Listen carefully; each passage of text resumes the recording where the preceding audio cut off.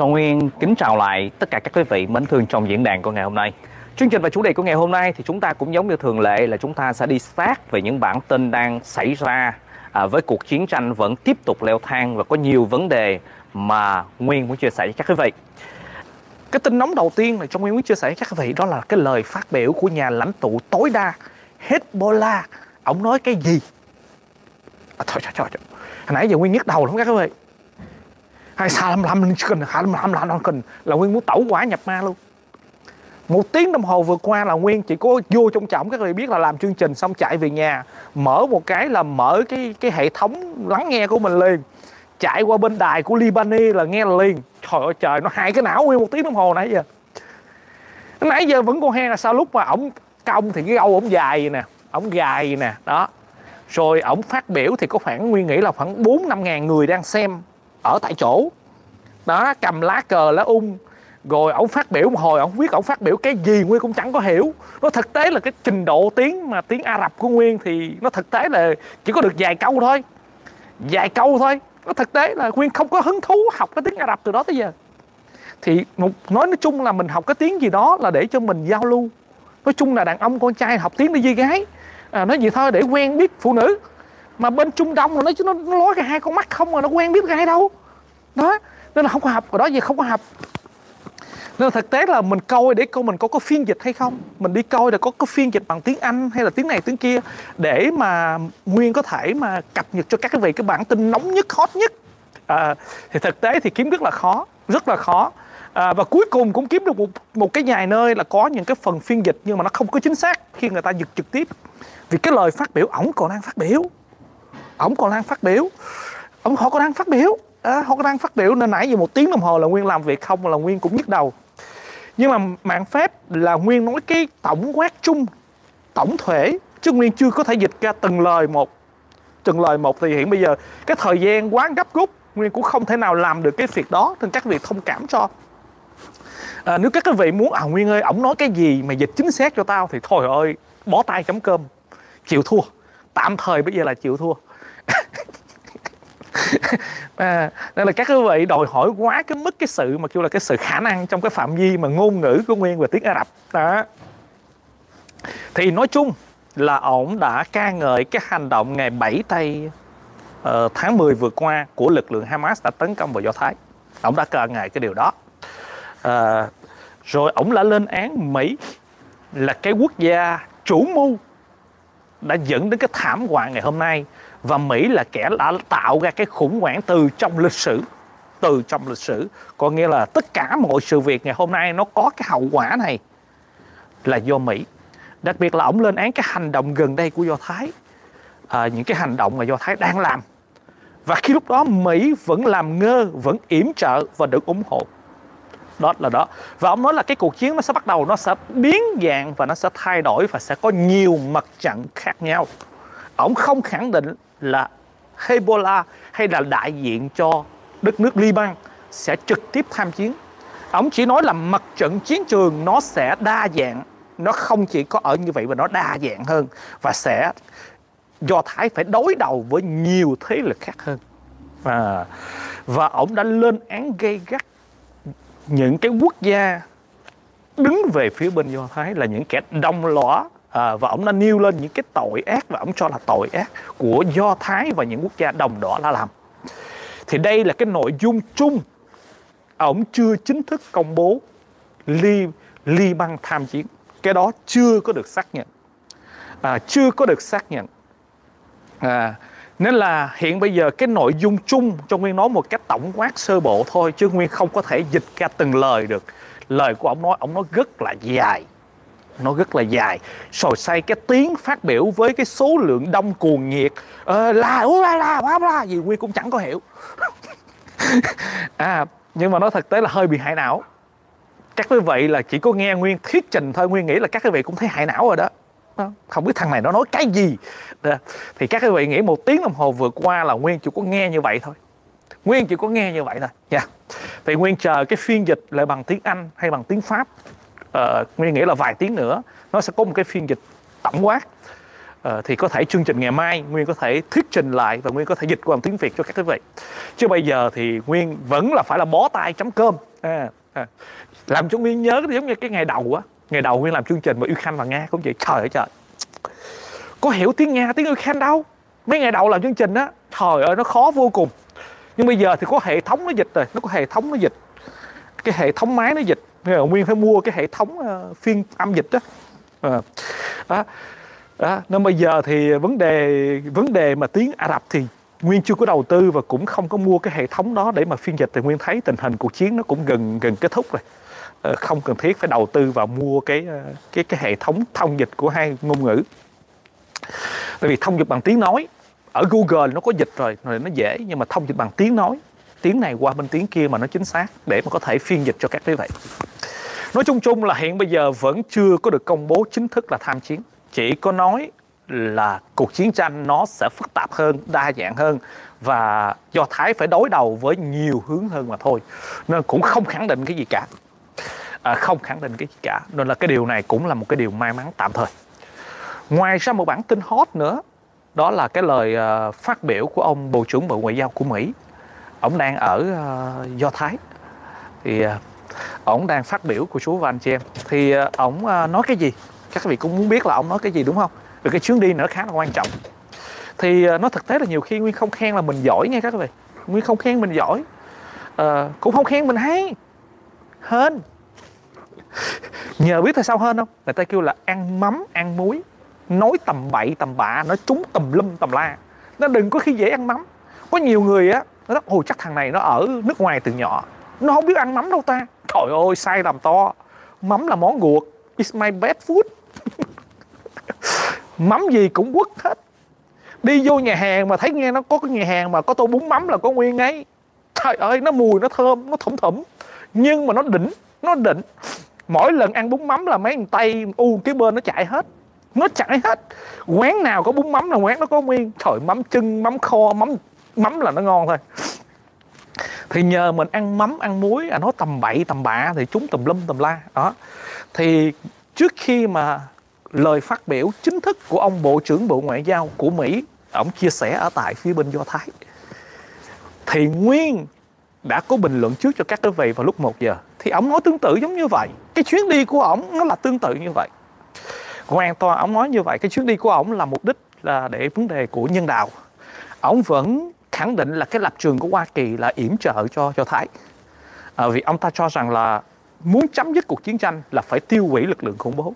Ông ta đồng ý với cái cuộc uh, phản công và cái cuộc trả đũa của Do Thái nhắm vào Hamas à, ông ta ờ, nhưng mà ông ta kêu gọi là cái sự việc nhân đạo để làm sao giảm bớt tối đa cái sự thiệt mạng và đó là cái sự nỗ lực của Hoa Kỳ trong cái chuyến đi này đó là cái chuyến đi chính. Và cũng kêu gọi ờ, chính phủ uh, Do Thái có thể cho phép Mỹ ở trong cái giai đoạn này tạm thời tạm thời ngừng bắn để cho Mỹ đi cái chuyến đi ngoại giao nó dễ hơn để cho mọi sự việc. Thì cái lời nói của ổng phát biểu của ổng nguyên cái văn khá dài thì nó cũng tương tự giống những gì chúng ta bình luận cách đây một tiếng đồng hồ nên không có cái gì mà mới mẻ hết. Ờ, không có cái gì mà đột phá hết. Chúng ta bình luận với nhau một tiếng đồng hồ trước thì những cái lời phát biểu của ông uh, bộ trưởng ngoại giao của Mỹ thì y hệt như vậy. Uh, chỉ có một cái điều á, là hiện bây giờ thì ổng đã trả lời trước báo chí nhưng mà nguyên làm chương trình rồi nguyên đang làm chương trình với các quý vị thì nguyên cũng không có theo dõi được. À, hiện bây giờ thì ổng vẫn đang trả lời với những cái câu hỏi của phóng viên báo chí. À, báo chí trực tiếp những khu vực đó thì ổng có khoảng ờ, 35 40 phút để mà trả lời. Chắc là bây giờ được 20 phút, lại còn mười mấy, hai chục phút nữa thì cũng là kết thúc. Thì lúc là sau cái lời phát biểu thì có một cái ờ, đáp trả những câu hỏi của báo chí. Thì ờ, hiện bây giờ chúng ta không rõ những cái báo chí câu hỏi và ông trả lời như thế gì. Thì cái đó thì nguyên không nắm chắc. Nhưng mà chúng ta đều biết là cái chuyến đi của bộ trưởng bộ ngoại giao của Antony Blinken khi cuộc chiến tranh nó hình như đã bắt đầu kết thúc. Thì ông muốn làm sao dằn xếp lại và bắt đầu tạo ra một cái không gian tìm một biện pháp giải, kêu là giải đáp để cứu người dân Palestine. Nên là chúng ta sẽ xem xét và theo dõi sau trong những ngày kế tiếp. Sau cái lời phát biểu của Bộ trưởng Bộ Ngoại giao của Mỹ thì ông Netanyahu đã có lời phát biểu. Đặc biệt là ông ta gửi cái thông điệp cho phía bên Hamas. Trong cái lời phát biểu của ông Netanyahu, ông nói, bây giờ muốn tôi ngừng bắn, có điều kiện à, ông Netanyahu nói bây giờ muốn tôi ngừng bắn tôi có điều kiện bây giờ tôi có thể ngừng bắn. Nhưng lực lượng Hamas phải thả hết tất cả con tin. Anh thả con tin hết đi thì tôi ngừng bắn. Đây là một cái trao đổi trong cái bối cảnh bây giờ. Ông Netanyahu nói bây giờ tôi sẽ ra lệnh ngừng bắn bây giờ nếu lực lượng Hamas thả hết tất cả con kinh con tin. Con số hiện bây giờ là 242 con tin. 242 con tin đang nắm giữ theo cái nguồn tin cụ thể cho biết là 242 con tin.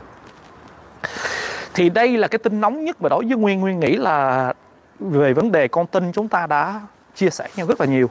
Rồi gần đây thì Do Thái họ đã không có chịu ngừng bắn, nhưng bây giờ họ chấp nhận sự ngừng bắn với cái sự quyết định là trao đổi con tin. Thì bây giờ chúng ta chờ cái kết quả của phía bên Hamas, họ có chấp thuận trao đổi con tin hay không? Họ có đồng ý trao đổi con tin hay không? Thì Nguyên không có biết. Nên là nhưng mà đây là những cái bản tin nóng nhất những cái bản tin mà mới vừa cách đây vài phút vài phút. À, thì uh, nguyên lúc nào nếu mà có tin nóng như vậy thì lúc nào mà trong cái thời cái giờ điểm mà mình làm việc á, thì nguyên cố gắng sẽ đưa cho các cái vị lẹ nhất có thể để cho các cái vị nhận được cái tình hình cụ thể. Theo nguyên nghĩ đó thì theo cái nhìn cá nhân á, thì Hamas sẽ không bao giờ thả thả con tin. Hamas sẽ không bao giờ thả con tin. Vì thả con tin thì Hamas sẽ không còn cái điểm dựa để mà trao đổi nữa nên là đó là cái nhìn cá nhân. Nhưng mà Nguyên không biết là phía bên ờ, lực lượng Hamas họ sẽ quyết định như thế nào. Ở trong cái bối cảnh mà họ đang bị bao vây. Họ đang bị bao vây. Nguyên nghĩ là họ đang buồn lắm. Vì họ buồn là bởi vì Hamas họ đang buồn lắm. Lực lượng Hamas họ đang buồn. Vì cái nhà lãnh tụ tối cao Hezbollah chưa công bố chính thức chiến tranh. Để giải cứu họ. Cái điều Nguyên nghĩ là họ đang buồn. Vì ổng nói cái kiểu mà chung chung đó lên án chung chung, rồi tụi tôi có hành động nhưng không có công bố cụ thể là Liban tham chiến. Thì Nguyên nghĩ là lực lượng Hamas họ có phần thất vọng qua cái lời phát biểu của nhà lãnh tụ tối cao Hezbollah.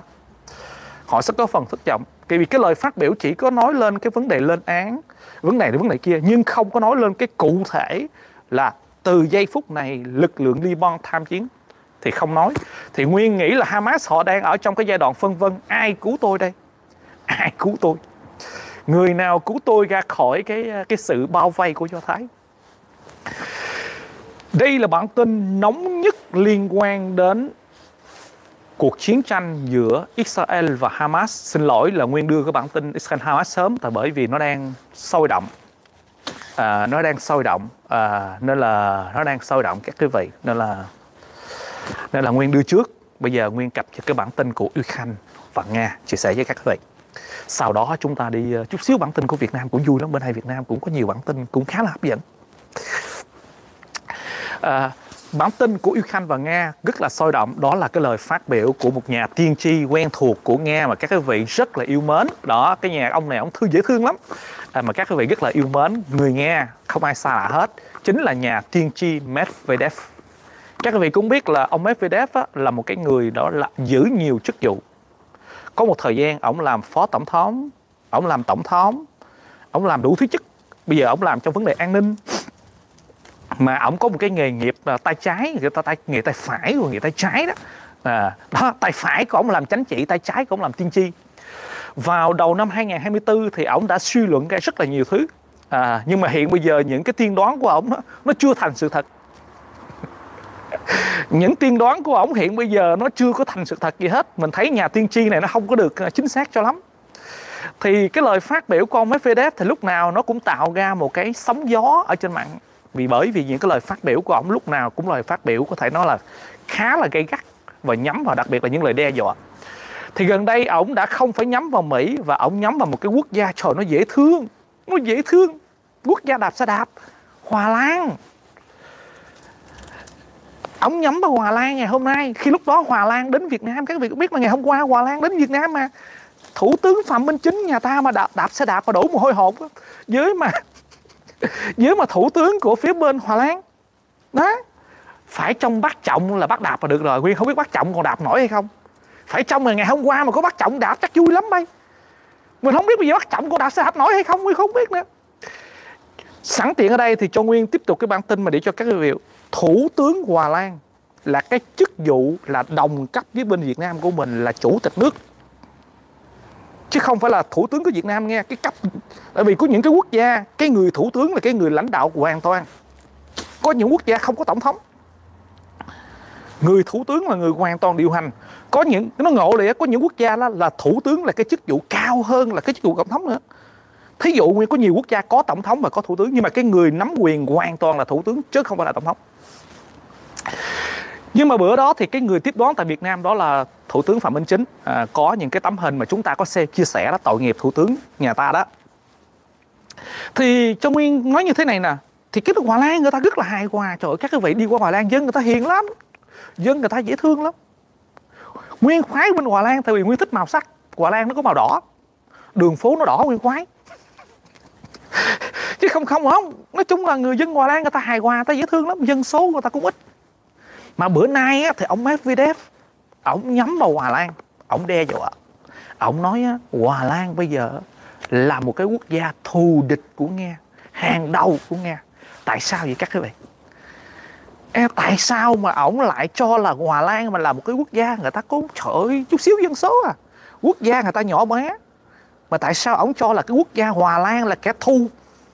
Kẻ thù. Kẻ thù các vị nói là nguyên thích đèn đỏ nguyên trời nguyên thích màu sắc thôi. Nguyên thích màu sắc trời nó đỏ đỏ chớp chớp là nguyên thấy vui vậy thôi đó mà. Đó, nguyên thích màu sắc đó. Tại sao vậy? Đúng vậy các vị đó. Tại vì Hòa Lan đã yểm trợ cho Ukraine trong những quốc gia cho Ukraine nhiều nhất F61 yes. Đúng đúng đúng. F61 yểm trợ nhiều nhất cho F61 nên là ông Medvedev ngày hôm nay ông mới nói rằng là Hòa Lan là cái quốc gia thù địch hàng đầu của đất nước. Và tất nhiên là thù địch là sẽ có những cái hành động cụ thể để mà đáp trả để mà đáp trả. Đấy. À, để mà đáp trả. Đó là chúng ta thấy rõ được là cái sự đe dọa tiếp tục tiếp tục à, của phía bên à, à, à, ờ, phía bên nghe nhắm vào Hòa Lan chứ người ta dễ thương người ta đạp xe đạp không à. Tôi đạp xe đạp không à, à à, nếu mà nếu các quý vị nói thật mà Hòa Lan là một quốc gia rất là hài hòa. Người ta bảo vệ môi trường thiên nhiên cuộc sống người ta rất là nhẹ nhàng và có thực tế là một một quốc gia rất là hạnh phúc. Và cũng có thể nói là có nhiều thắng cảnh mà chúng ta chưa có ai ghé thăm thì nhớ lên ghé thăm. Khi các quý vị có cái chuyến công du ở tại châu Âu. Ngày xưa thì Nguyên làm việc nên là Nguyên đi thường xuyên ở Hòa Lan rất là nhiều cách đây nhiều năm về trước hình như là tuần nào Nguyên cũng ghé Hòa Lan một hai lần hết nên là đó là cách đây nhiều năm về trước thường xuyên ghé Hòa Lan Xin gửi đến quý vị những diễn biến mới nhất về tình hình chiến sự và thế giới trong 24 giờ qua. Syria gửi khí tài do Nga sản xuất cho Hezbollah. Giao tranh ác liệt với Israel, Hezbollah lần đầu sử dụng UAV chở chất nổ. Israel khắp vòng vây Gaza đánh sập hơn 100 đường hầm của Hamas. Mỹ chuẩn bị công bố gói viện trợ quân sự trị giá 425 triệu đô la Mỹ cho Ukraine. Bộ trưởng Quốc phòng Nga Shoigu bắt tay các tướng lĩnh ra mệnh lệnh nóng. Ukraine bẻ gãy cuộc tấn công của Nga ở Voleda, lính Moscow buộc phải tháo chạy. Hàng trăm lính tốt nhất của Nam Mỹ tham chiến ở Ukraine chống lại quân Nga. Và mở đầu sẽ là những nội dung chi tiết về tình hình chiến sự tại Trung Đông. Syria gửi khí tài do Nga sản xuất cho Hezbollah. Vâng kính thưa quý vị, CNN dẫn các nguồn tin từ tình báo Mỹ hôm 2 tháng 11 giờ Washington DC cho hay Tổng thống Syria Bashar al-Assad gần đây đã đồng ý cung cấp cho Hezbollah hệ thống phòng không do Nga sản xuất. Hai nguồn tin giấu tên nói rằng tập đoàn quân sự tư nhân Wagner hoạt động ở Syria đã được giao nhiệm vụ cung cấp tổ hợp tên lửa pháo phòng không SA-22 cho Hezbollah. Tuy nhiên, chưa rõ hệ thống kia đã được chuyển giao hay là chưa.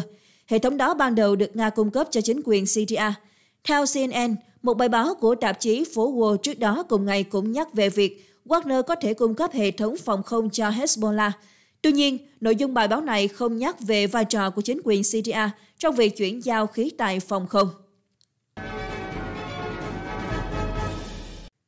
Giao tranh ác liệt với Israel, Hezbollah lần đầu sử dụng UAV chở chất nổ. Thưa quý vị, ngày 2 tháng 11, phong trào Hồi giáo Hezbollah ở Liban thông báo đã tiến hành nhiều cuộc tấn công vào vị trí của quân đội Israel – trong đó có lần đầu tiên lực lượng này sử dụng máy bay không người lái chữa chất nổ.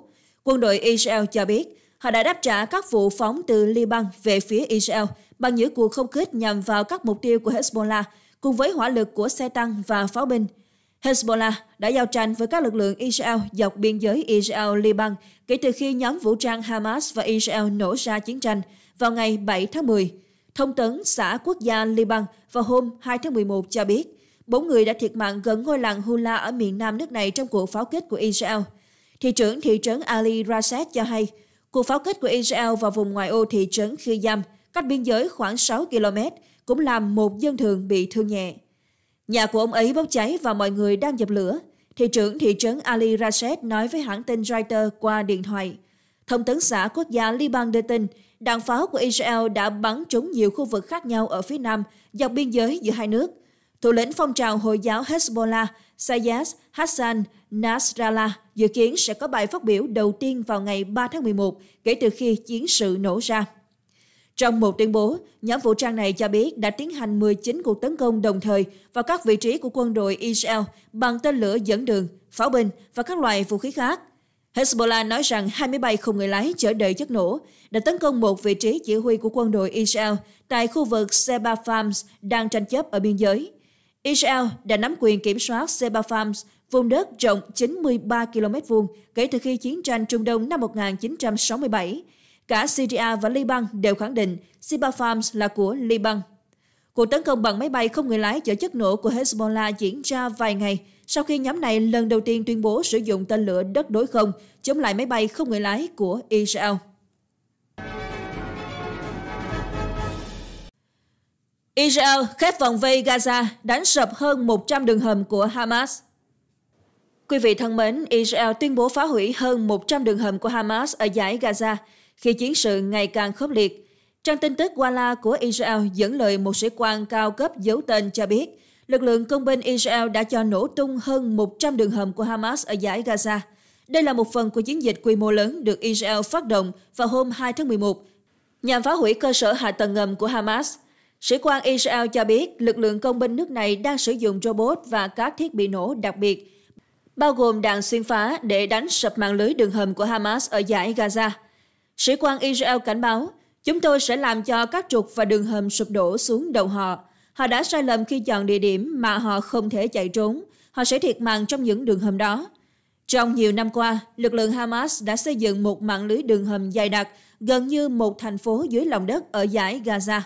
Quân đội Hamas sử dụng những đường hầm này làm kho chứa vũ khí hầm trú ẩn, trung tâm chỉ huy và huyết mạch vận chuyển vũ khí bí mật, bao gồm cả bệ phóng tên lửa. Hệ thống đường hầm dày đặc và rộng đến mức lực lượng Israel gọi chúng là hệ thống tàu điện ngầm, tạo điều kiện cho lực lượng Hamas kết nối với nhau và di chuyển an toàn mà không bị phát hiện. Tham mưu trưởng lực lượng phòng vệ Israel Trung tướng Hezi Halevi ngày 2 tháng 11 cho biết, quân đội Israel đang hoạt động bên trong thành phố Gaza và bao vây thành phố này từ nhiều hướng. Ông Halevi nói, chúng ta đã tiến tới một giai đoạn quan trọng khác trong cuộc chiến. Các lực lượng Israel đã ở trung tâm phía bắc Gaza, hoạt động ở thành phố Gaza, bao vây thành phố và tăng cường cuộc tấn công trên bộ, đạt được nhiều thành tựu. Theo tướng Halavi, khi lực lượng Israel đang có mặt ở những khu vực quan trọng của thành phố Gaza. Ông cho biết, các lực lượng Israel đang chiến đấu trong một đô thị dài đặc và phức tạp, đòi hỏi phải tác chiến chuyên nghiệp và dũng cảm. Ông nói thêm rằng lực lượng Israel đang chiến đấu trong phạm vi gần để chống lại đối phương và lực lượng bộ binh được triển khai với thông tin tình báo chính xác, hỏa lực từ trên không và trên biển. Thủ tướng Israel Benjamin Netanyahu vào ngày 2 tháng 11 tiếp tục kêu gọi dân thường Palestine sơ tán khỏi khu vực phía bắc Gaza trong bối cảnh quân đội Israel tăng cường hoạt động ở khu vực này. Mỹ chuẩn bị công bố gói viện trợ quân sự 425 triệu đô la Mỹ cho Ukraine. Thưa quý vị, nguồn tiền cho gói viện trợ quân sự này là từ chương trình sáng kiến hỗ trợ an ninh cho Ukraine, cho phép chính quyền Mỹ mua vũ khí từ ngành công nghiệp trong nước thay vì lấy từ kho vũ khí quân đội. Hai quan chức Mỹ ngày 2 tháng 11 cho biết, chính quyền nước này có kế hoạch công bố gói viện trợ quân sự mới trị giá 425 triệu đô la Mỹ cho Ukraine vào ngày 3 tháng 11, bao gồm rocket và đạn chống máy bay không người lái. Gói này dự kiến sẽ không bao gồm tên lửa tầm xa ATACMS. Trước đó, các nghị sĩ cấp cao của đảng Cộng hòa đã thúc giục Tổng thống Joe Biden gửi thêm tên lửa tầm xa tới Ukraine, bất chấp sự phản đối của một số nhà lập pháp bảo thủ chống lại việc viện trợ thêm loại vũ khí này. Theo một tài liệu mà phóng viên Reuters và một trong hai quan chức này đã xem, Gói viện trợ theo kế hoạch dành cho Ukraine sẽ bao gồm các loại đạn dẫn đường bằng laser trị giá khoảng 300 triệu đô la Mỹ để bắn hạ các máy bay không người lái. Phần còn lại của gói vũ khí này trị giá 125 triệu đô la Mỹ, bao gồm đạn bổ sung cho hệ thống tên lửa đất đối không tiên tiến NASAM, đạn cho hệ thống rocket đa nòng cơ động cao HIMARS, đạn pháo 105 và 155mm, tên lửa chống thang Taut, min chống bộ binh Claymore, vũ khí nhỏ và hàng chục xe tải. Nguồn tiền cho gói viện trợ quân sự này là từ chương trình sáng kiến hỗ trợ an ninh cho Ukraine, cho phép chính quyền Biden mua vũ khí từ ngành công nghiệp trong nước, thay vì lấy từ kho vũ khí của quân đội Mỹ.